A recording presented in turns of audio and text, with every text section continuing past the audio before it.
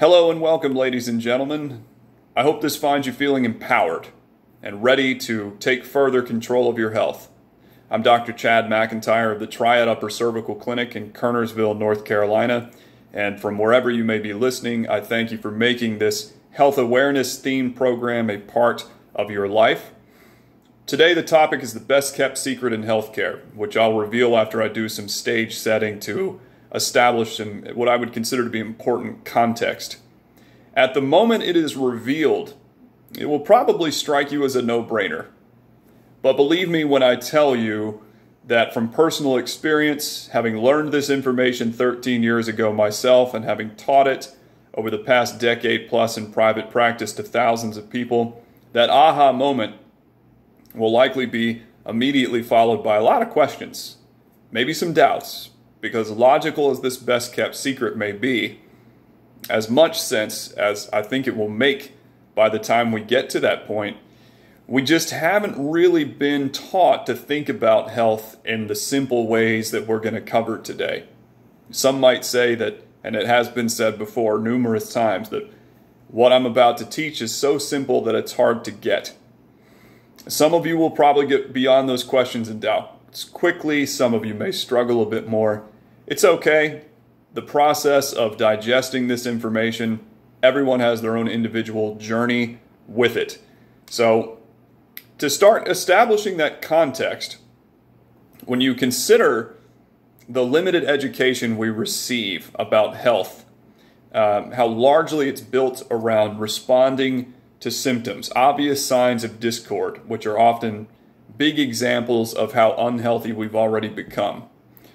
What I'm going to be teaching is from the standpoint of a more proactive type headspace, but we often don't get to work with people in my practice that are of the proactive mindset. We're often, we're often having to teach people who are still in that reactive kind of a mode because that's the way healthcare is built. We've all been taught that health is like calculus is to mathematics, that it's complicated and that it's overly complex, and that there's very little way that the average person would be able to understand it.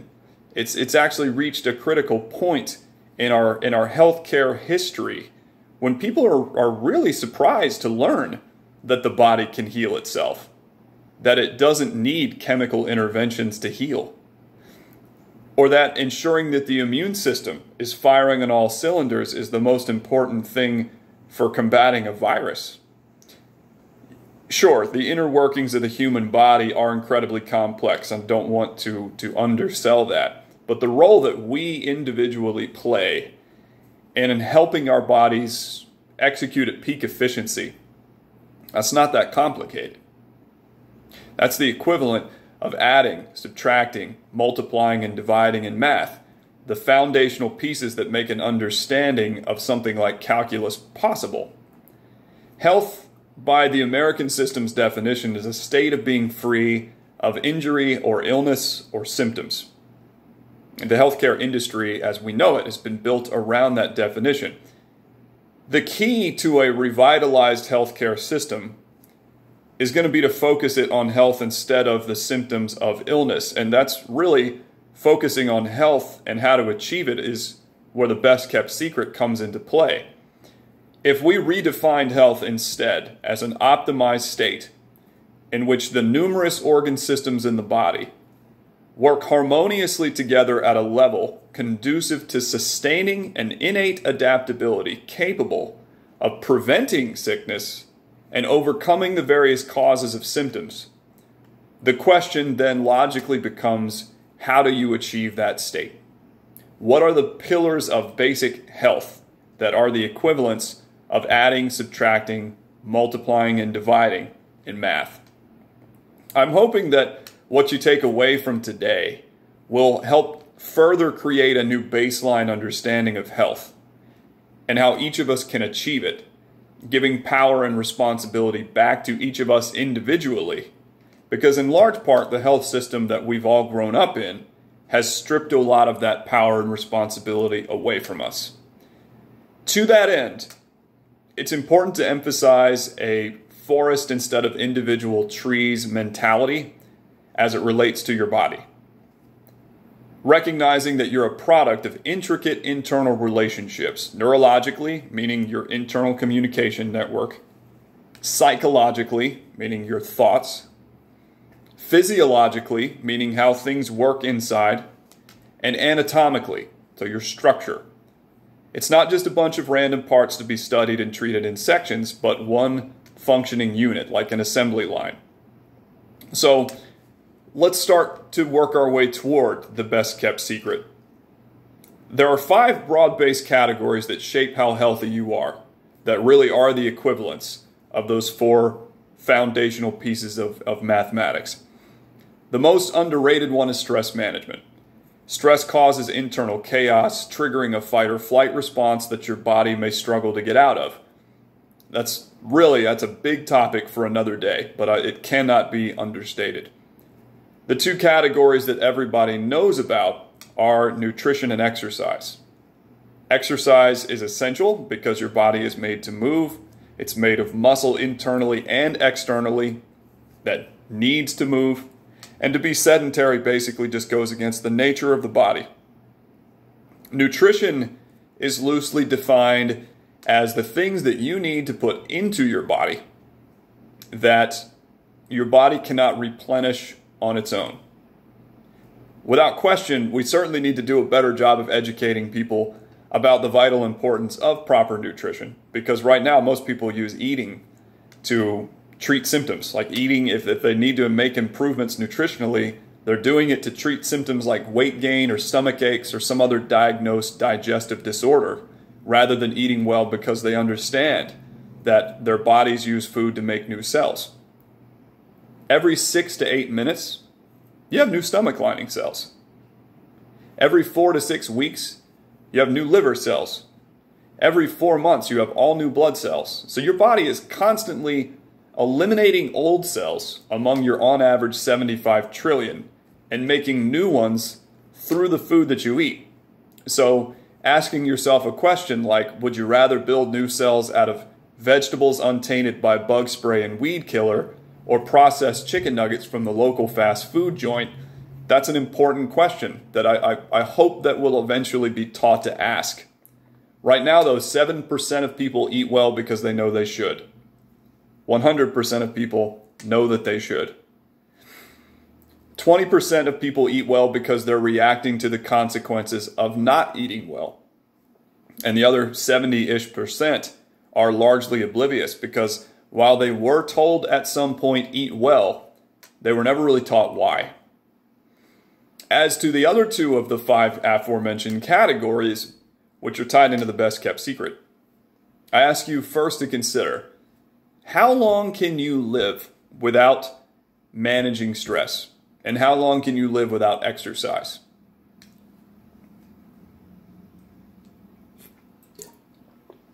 I think you know we can live we can live a long time without exercise. Plenty of people live a long time being sedentary and being really stressed out. Exercise and and, and stress management they they aren't necessary to be alive, but they are vital to be healthy.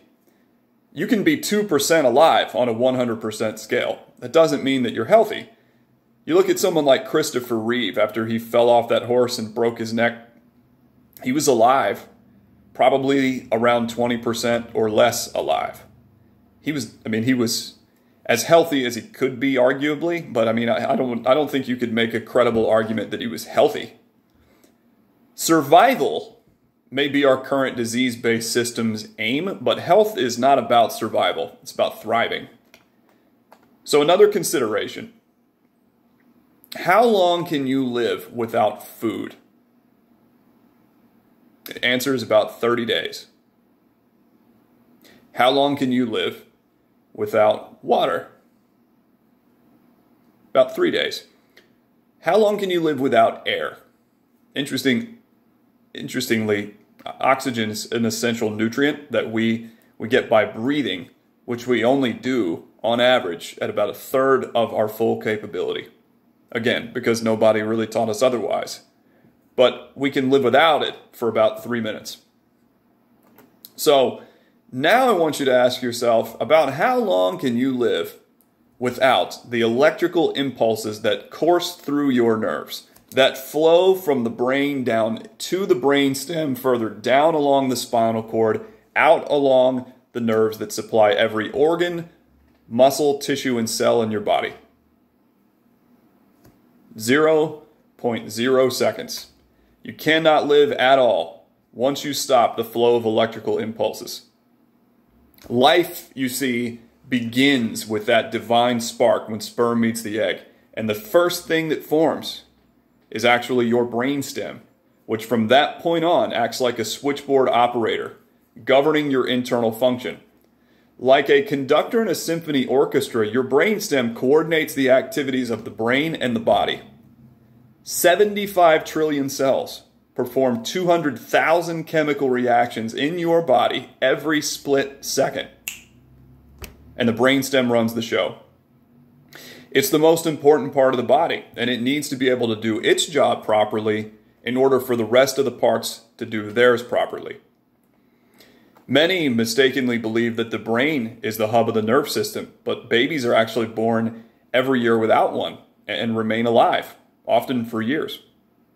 The brainstem is actually the nerve system's hub, making it the one part of the body you can't live without. You look at death by hanging. That severs the nerve system's hub, the brainstem, like shutting off the main fuse in a house. Near instantly, life ends. The flow of electrical impulses through the brainstem, though, is not an all or nothing proposition.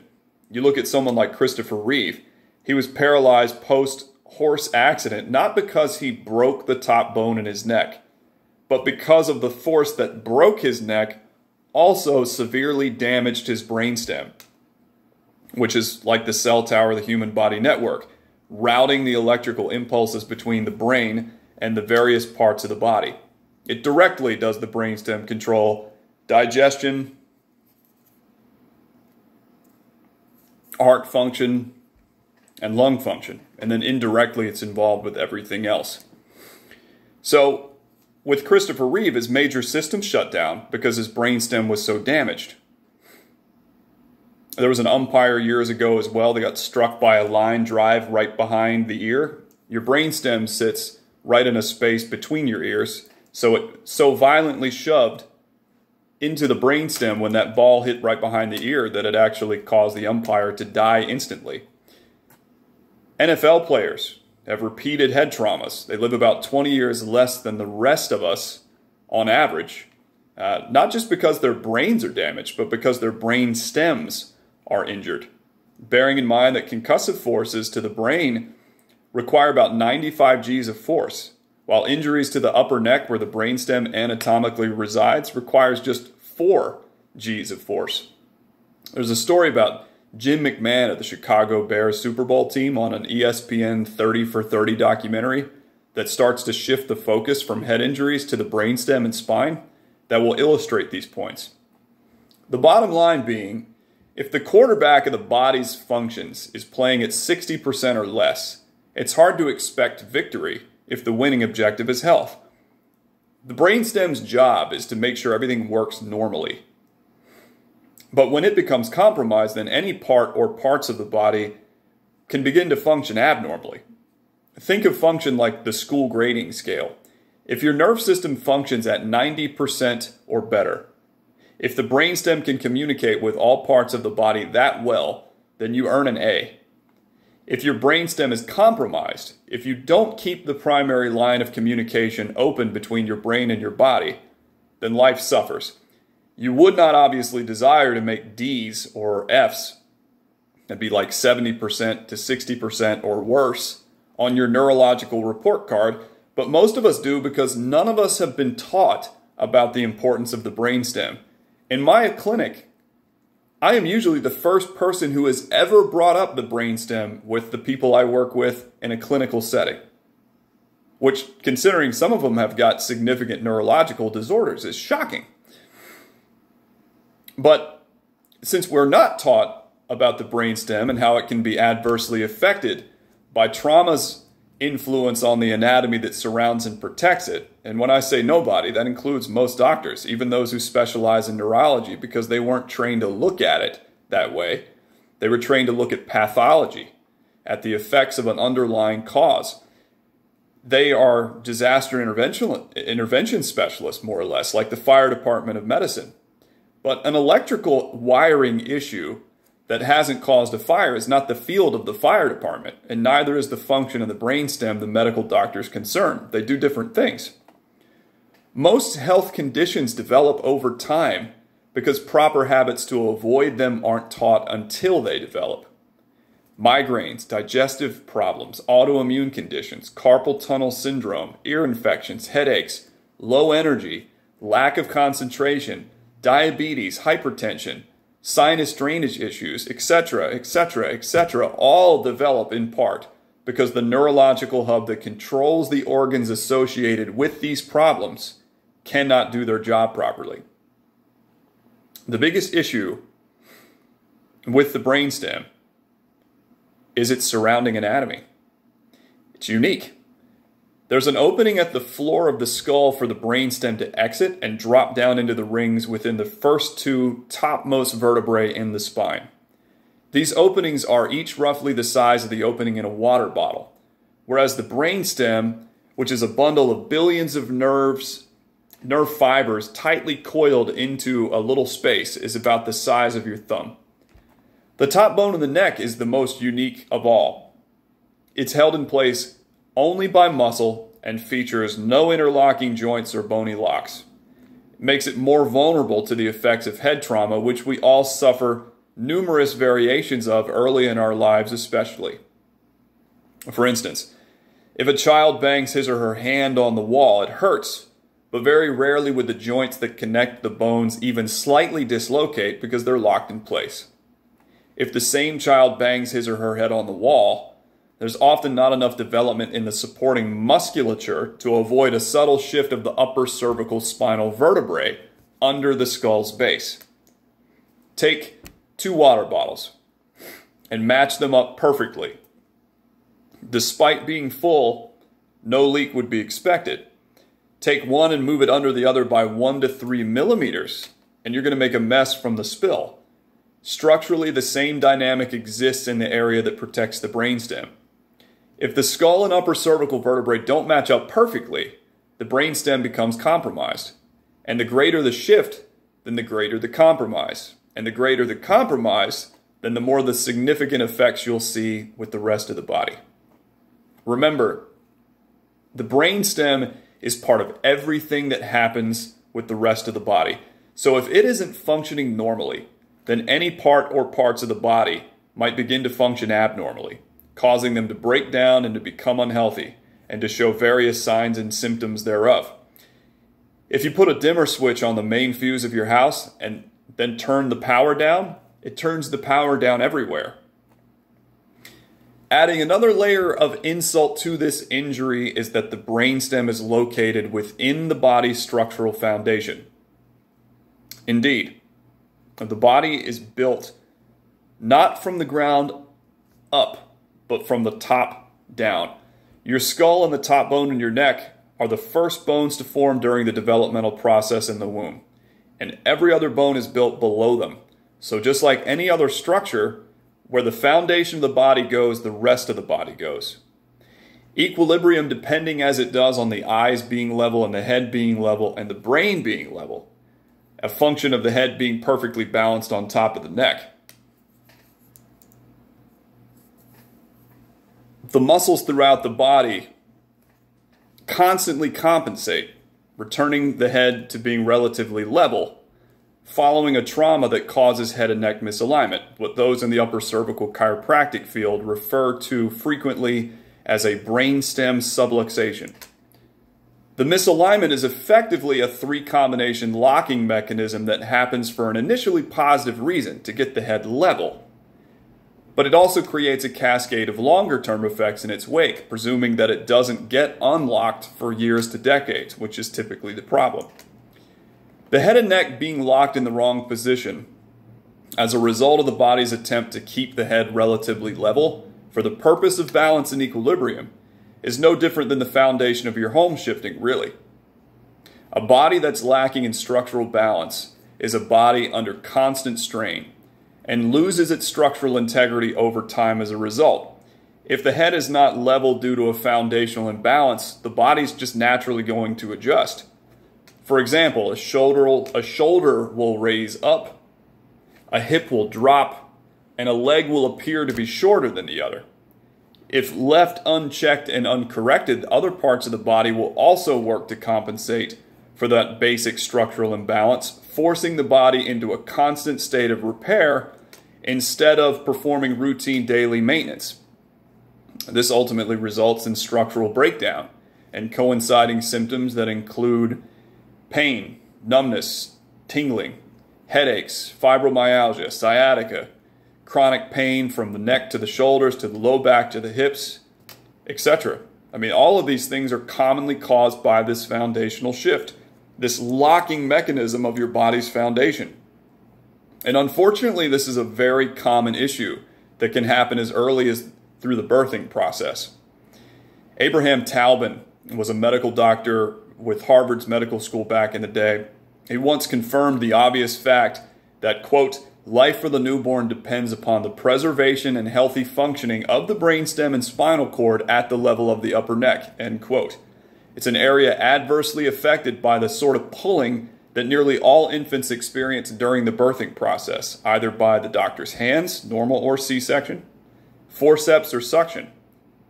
There was a German medical physician and researcher named Gottfried Gutmann he found that up to 80% of newborns suffered subtle upper cervical spinal injuries during delivery, and that despite the prevalence, typical exams almost never identify them. By a 500 to 1 ratio compared to the rest of our lives combined, physical traumas in general occur most often from birth to roughly age 10. And as parents, we're taught only to be concerned with the pronounced and immediate effects but the subtle long term aftermath associated, for instance, with the loss of head and neck alignment, which, to recap, basically wraps a bony band around part of the brainstem, restricts blood flow to the brain, and causes the entire physical frame to adapt in compensation. It's just as significant. It's just delayed a few years to even decades in the effects that it shows. It certainly does not require a concussion inducing head trauma to cause an upper cervical spinal misalignment. Physiology, how things function, is dependent on the correct position of the anatomy. It is basic applied science to recognize that the incorrect position of the anatomy negatively changes the physiology, and then further recognize that developing a system of identification and correction like that used by upper cervical chiropractors is the solution to fixing that problem. Structural imbalance can be identified very quickly. The brainstem being compromised is easily identifiable through a technology called thermography, and the details necessary to determine how to correct these findings can be discovered via specific x rays or 3D CT scans. So, ladies and gentlemen, the best kept secret in healthcare is the importance of the brainstem and its surrounding structural anatomy. If your head is literally not on straight, if your brainstem is compromised and your body has structurally compensated from head to toe, abnormal function will lead to the development of various abnormal conditions through the weakening of your body's innate ability to adapt to various stressors, viruses included. And structural imbalance will lead to structural breakdown and its associated signs and symptoms, which also weaken your resilience and make you more susceptible to disease. It really is. It's just simple cause and effect. So I thank you for taking the time today. My closing message to you is a reminder that we all can really make a difference in healthcare by just becoming better informed. We can change the healthcare industry by demanding it be better and knowing what better can be by learning these well kept secrets and acting on them. So I encourage you to research upper cervical chiropractic. Visit triaduppercervical.com, learn, become better informed. It's time, in my opinion, that these best kept secrets were not secrets. We all need to know these things. It's basic anatomy and physiology 101 applied. Honestly, the future of healthcare may well rest in this philosophical and scientific shift. You know, healthcare in America is really not going to change until its focus does.